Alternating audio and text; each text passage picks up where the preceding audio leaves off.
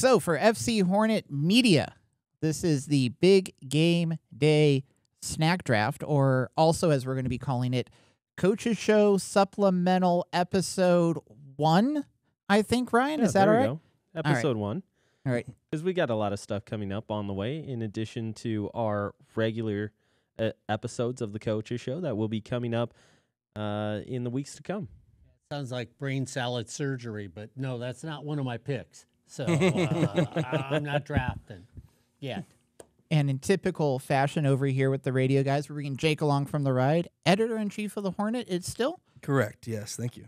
So Jake's along for the ride over here with the radio guys. And as things always happen to head in the direction of, we landed on food. We're talking about the big game. We're drafting. Each person gets four picks. Best big game day snack. So here we are, random.org. It's four of us on the list, starting with the order Jake, Joe, Mark, Ryan. And we're going to randomize this four times.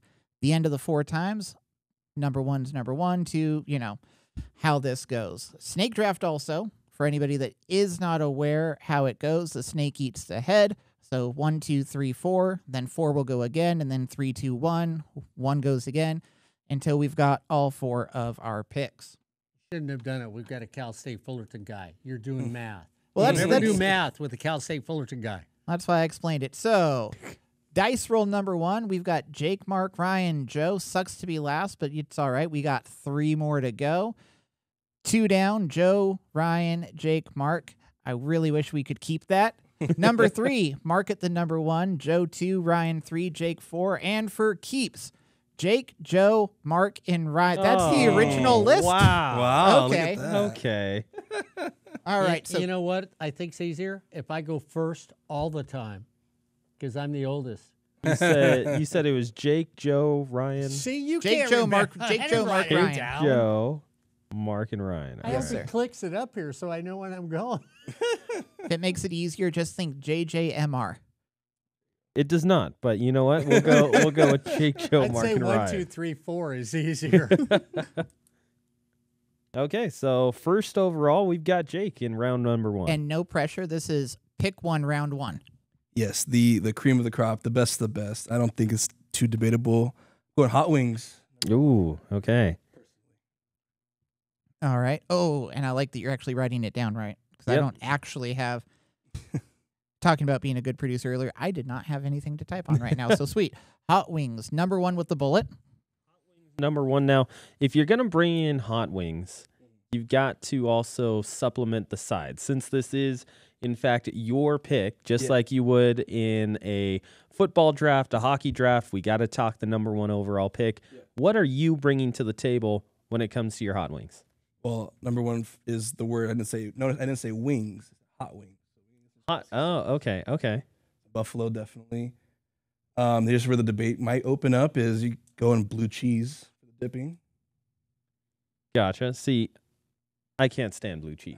Blue That's- that's cheese where the- doesn't. Blue cheese doesn't even touch my wings whatsoever. That's that non-starter. I think if the wings are good, you don't even need to Oh, add anything. that's fair. That's fair. so you don't have to touch the blue cheese. I'll eat the blue cheese. That's fine. I'll do it with my wings. It adds that little bit of coolness to it, Mhm. that extra little cheese, a bit of tartness to it. It takes down the heat on it if it's a little too hot because not everybody wants a scorched tongue. Mm-hmm. So, in it, blue we're works. specifying hot wings. So your Yeah. ideal wings, buffalo, some kind of hot sauce. We're not going like lemon pepper wings. You're not. Do do we just want to? He's saying hot wings, but are we just going to call it chicken wings essentially? Because that's Yeah, what. we'll it- call That's, it that's chicken fair. wings. Oh, yeah, that's fair. Because if I'm not not, then you're. No, you're, you're gonna there's a- start eating up picks with. There's, there's oh, a this is- difference. There's a difference between if you go to buy wings, you Uh-huh. just don't say to somebody, "Give me wings." They're gonna say, "What sort of wings?" No, No, no, no, correction. no, You're gonna say, "I would like some chicken wings," and they're going to say, "What flavor or style?" So that branches out from chicken wings. So they're telling you there's a difference. It- it's so like did it- Jake. Mark. Jake's fine. It's like if I went to you and I said, "Give me some chips and dip." I'd ask you what type. Exactly. both. what type of wings? So you It's can't an all. just It's an wings. all-encompassing yeah, thing. exactly. It, it, it's everything right there. Wow. I think Mark had one of his top seeds stolen from him right now. no, no, I'm fine. I'm fine. I'm fine. All right. Speaking of top seeds, we've got Joe with pick number two in round one. I'm gonna go staple. You won't be at a big game day party without guacamole. Mm. Wha- oh, okay. Okay. Alone. How do you make your guacamole? I mean, you know, guacamole. There's different ways to make. Some people would just mash up an avocado and call it guacamole. That's all you do. You throw some other stuff in there. Listen, it's an all-encompassing term. This is great for me. It wasn't even on my board. It's not. it's not mashed up. What? It's not mashed up avocado. You know, it's it depends on how much time you have. Do you mash it up? Do you throw the stuff in it? Do you go, oh no, I don't have enough time. The first person's going to be here in five minutes. Hey, I've got salsa. Hey, I've got avocados. Hey, guacamole. Wait, wait, wait, wait. No, don't be. Don't be adding those other dips in here. When you're. Now, see, Jake, if we're gonna if we're gonna spin it over towards your side, Mm. Are you also agreeing with Joe and bringing uh, guac to your like big it- game party? In, in my at my party, that's an incomplete answer because I can't just have. What am I doing with the guacamole? Just looking at it. Like, what am I dipping in it? What am I adding it to? You could put it on as a facial because I avocado some works. something like that maybe. But Listen, you get frisky. You dip your chicken wings in it. I don't know about that one. Wow. But yeah, I, I love guac, but I need I wanted to know what else. How are you going to use the guac? Is my question. I think chips are implied. Okay, I think Okay. tortilla chips are implied. that's fine with me. Then I'm, I'm good As long as the guac doesn't touch my big game party, I'm happy. So far, Like I Ryan's not said. invited, is? Like He's not- he's not like Apparently not. All right. He's not liking what we're putting. Round one, pick three. We're going to Mark. Well, I'm going to go to just the easiest thing in the world that everybody will bring. So you're either going to bring a bowl of this or you're going to bring a bowl of that. So I'm going to bring the fruit, fruit play into this, and the plate is going to be covered with a variety of different fruits that I like. You guys, too bad, you're going to have to eat what I standard fruit plates are watermelon, pineapple, things like that. You're going to get some apple cut up on it. You might get I think mm, a strange little fruit now and then, but uh, yeah, you've got a fruit tray for everybody that doesn't want the hot wings, doesn't like an avocado, and sure isn't going to like what Ryan brings. So that's why you got the fruit tray at the table. You take a fruit tray round one. That was, Round that, one. that was my That's only. the That was my only. I love a good fruit tray, but your first pick is is your I, favorite. I That's would fair. like I would like to state the fact that not only did he take it round one, he's already preparing for other people to say, "What in the world are you bringing a fruit tray for?" I know. If you had to sell it. you know, fruit tray's fine for round one. fruit tray's fine for round one. I'm playing it different than you guys because I'm going to put the most popular thing on there in round one. They're going to look at his hot wings and everybody's going to say, That's too hot. I'm not really into that. They're going to look at you and say, It's a mashed avocado. Who made this? I could have stopped at the store and bought that. So we already know that you guys are behind me because everybody likes that variety with fruit. It's fresh, it cleans the palate, it makes you ready. If you got the margarita going, you drop your fruit in there. You could even drop some of your fruit, depending on what it is, into your beer. If it's a dark beer, you could do that. If you got a glass of wine, you can do that. If you got a mimosa, you can do that. Mine is a universe. You can't do that with guacamole, especially yours. You can't drop that in somebody's drink. So Round mine's, one, at, the, pick mine's at the top of the round. I- I've already defended it. Mine's at the top of the round. You shouldn't have to defend a round one pick. yeah, that's the issue. It should be a consensus. Oh, that's a good I one can- right there. see that. I saw you guys. I saw you guys having drool on your lips. Yeah, I don't know about I that thi- one. It wasn't from Joe's mashed avocado. All right. R- All right, Pick- round one, pick number four. We're gonna go with nachos. Classic. Solid. What the I- actor? Uh, no, no, no. Just just nachos. Just nachos. Uh, classic. You can't go wrong with it at your big game party.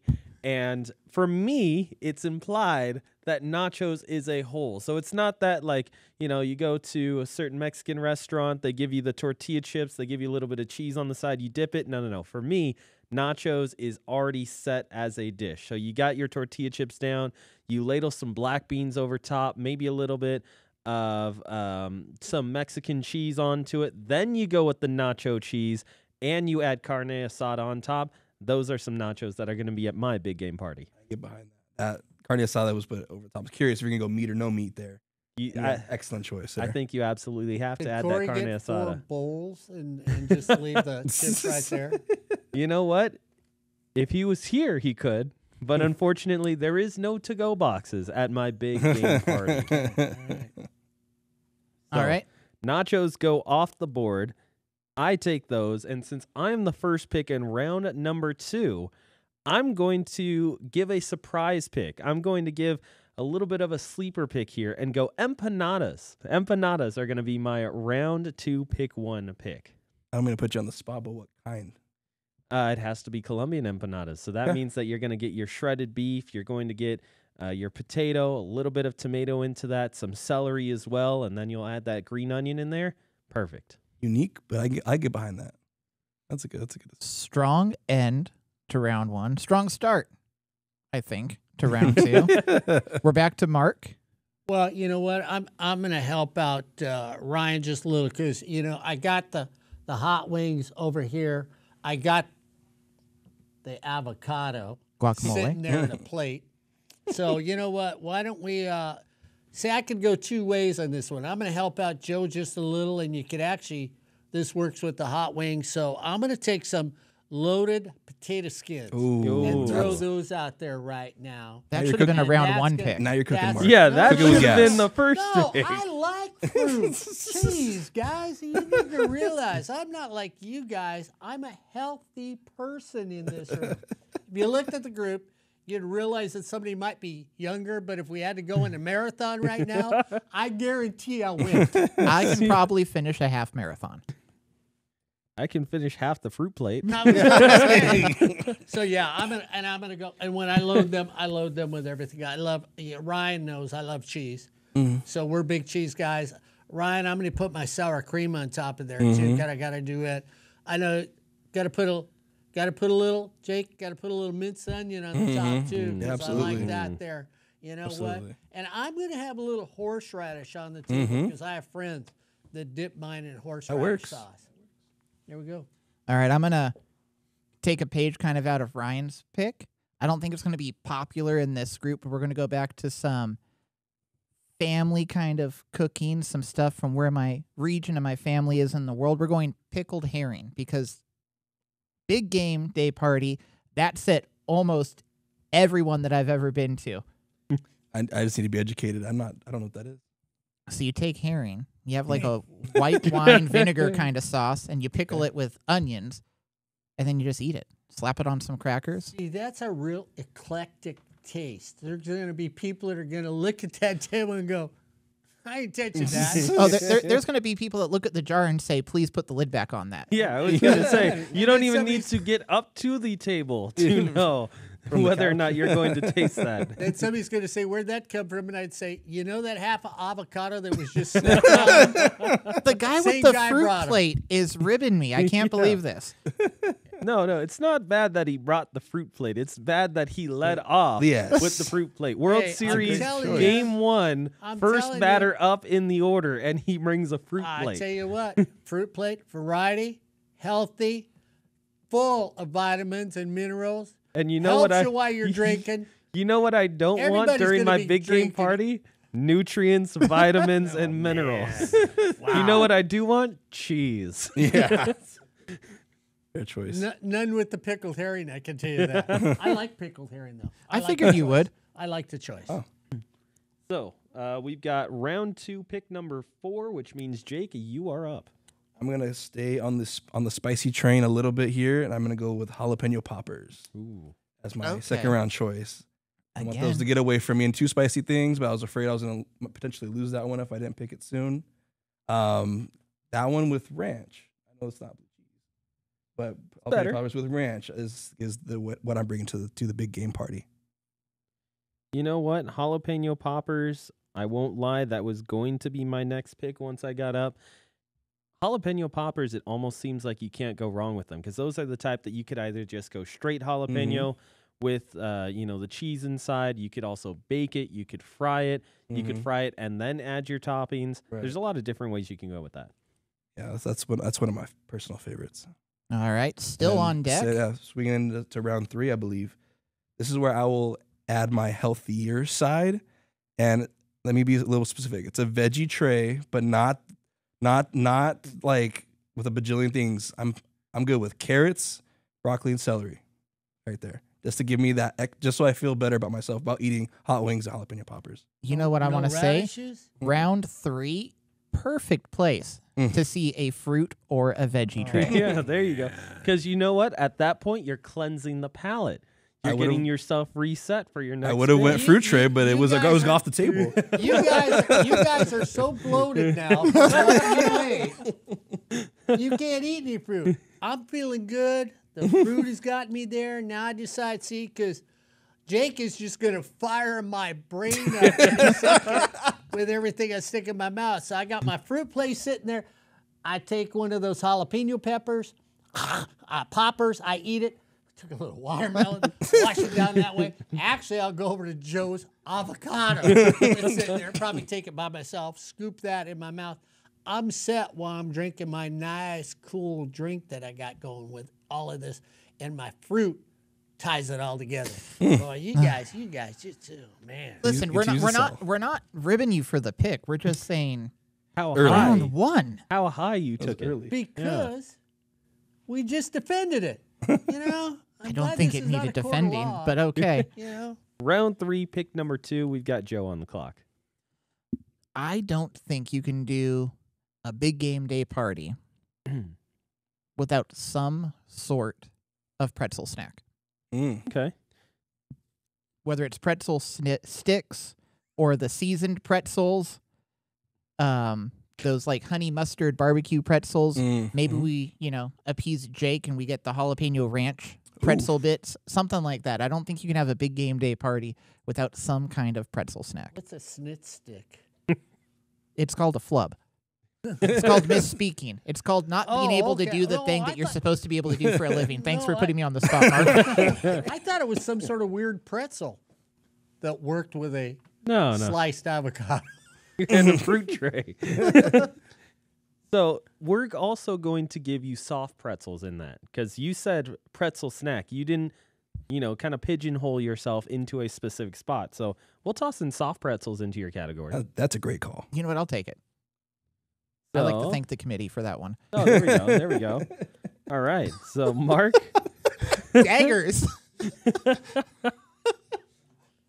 Well, well, you know what? I mean, I'm I'm really disappointed because we got chips, we got one stupid dip on the table, a really nice fruit tray that everybody's enjoying. They're staring at the rest of the stuff, going, "Hey, unless I got something to hmm. wash this down with." So, guys, I'm going to go with what I think is the most popular dip, at least when we have parties for any sort of games that we watch together as a group, and that's baked spinach and artichoke. Uh, That just goes over big for everybody, and that's that hot dip that's going on there. That sort of balances out things. And see, that sort of goes with fruit, vegetables, then whatever else is on the table. So yeah, You could dip all those things into it. Also, a I'm gonna put that compelling round one pick. I'd like to add. you know. Yeah. I didn't pick an avocado. It's delicious, Mark. I like spinach. I like artichoke. For some reason, I just cannot get behind a spinach artichoke dip. I've tried many, just not my thing. Not like- that it's bad, just not my thing. I feel like he's leading into his dip. No, no, no, Mm. no, no. Are you just not a dip fan?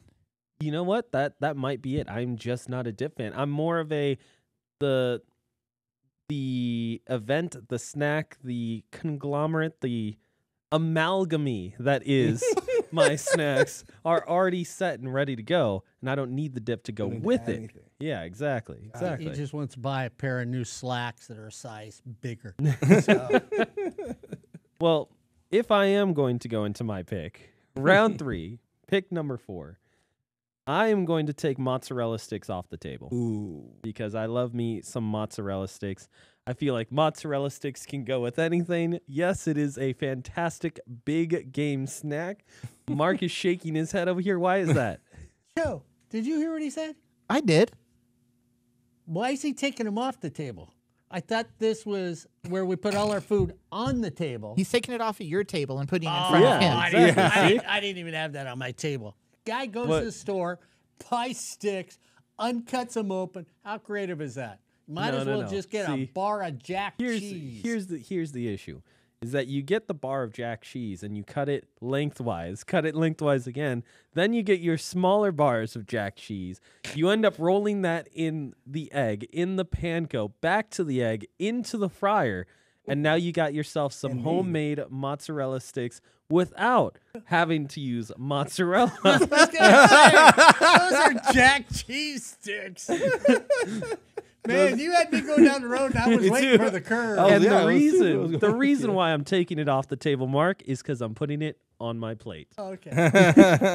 All right. I think we're at round four. Pick one, Ryan. Round four, pick one. I'm gonna go with Stromboli. I love me a good Stromboli, and I feel like it's going to be that selection that everyone goes, looks at, and goes, "I I forgot that existed." So the Stromboli. I literally is my did. Round That- four, pick one. That feels dangerously close to an entree. It does. Stromboli? It does. Yes. Yeah. it really? does, yeah. Okay. Mm. You know what? But you know what? I'm I'm gonna I- I, I'm I'm gonna, I'm gonna live with it because some of us might have other things that we could look at. So Because we'll I'm see not what the taking group I'm not does. taking the whole Stromboli. I'm going with the slices of the Stromboli. I mean, if you're gonna do Stromboli, don't you think that would have been a first, a great first pick? No, I think his first round pick was pretty good. Yeah. See. and it, again, it is your big game day party. Exactly. Thank your you, way. Jake. Thank you. so we got Monterey Jack mozzarella sticks as round three, pick four, and then Stromboli slices as round four, pick one. Now we go to Mark. We're at a Pinocchio party with uh, him, Stromboli. You know what I'm gonna add to your to your table though? I think we need some more potatoes because I love potatoes. I love potatoes and all different forms. So I'm gonna throw in some tailgate tots. to Mm. go along the way too. And of course, we've got now our dips and everything else. You sort of roll everything together. And uh, we have our starches, we have our meats, and our fruit that balances everything out. so, and a good call. some and some vegetables from Jake over there. So now we've almost got a real plate of food going on the table. So the tots go next. Well, I think your tots are going to go honorable mention. I think they're going to sit on the bench because I'm coming in with some. I'm coming in with some real tater game right here, and we're going to go baked potato bar Ooh, Baked potato baked bar? Potato bar. Yeah. Wow. for your That's big a game day one. snack. You've got the grill going already. And you just wrap those potatoes in some aluminum foil and just keep it going and feeding fresh baked potatoes to the baked potato bar. Wow. I didn't even, I didn't even cross my mind. See, But- now that it's- sounds like that sounds like that goes with his entree that we shouldn't have mm-hmm. allowed there, but not, that's okay. No, no, no. What meal is a baked potato considered an entree? It's an addition. It's it's, Side. I, it's, I've had a a baked potato. Yeah, I've had a baked potato as an entree. it is an Potato. accoutrement. You get the baked, po- the loaded baked potato. It's an entree. A meal. That's, a, that's it's an entree. All right, Stromboli boy, quiet. hey, what about you? Okay, now we go to a drink. I don't know if I can top a baked potato bar, and I don't know if I have the proper terms. You guys might have to help me out.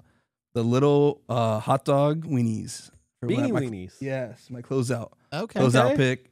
Definitely need some dipping sauces there. Um, but yeah, that would that's I think been every Super Bowl party that I can remember that I've been to. So that's that's got to be on my list as well. So them wrapped in a little like crescent yeah, roll, mhm, or or in the okay, And a little okay. crescent roll. Okay. hmm Uh, we, we call them pigs in a blanket, but I don't know if that's really the proper Okay. That- that- heard both. proper That term would work. or not. Yeah, Tha- that's that's one of my favorites. All right, we can run over to Ryan, who's been our statistician. This you can break down the picks. So, Jake's team currently is hot wings, jalapeno poppers, a veggie tray, and the the pigs in a blanket. Mm-hmm. All right, and Joe's is guacamole, pickled herring, pretzel snacks, and baked potato bar, Wow. That is unique. which makes mine nachos, uh, empanadas, mozzarella sticks made with Monterey Jack, and stromboli slices. and then Mark's at the end of round number four is a fruit plate, questionably, loaded potato skins, baked spinach and artichoke dip, artichoke dip, and tater tots. I, I think the editorializing on Mark's picks really what kind of screwed you up there, man. it may have just a little bit. So there it is. I think at least four. I got I got one question though. Okay. You know what none of us threw in there? What's Because that? about around five.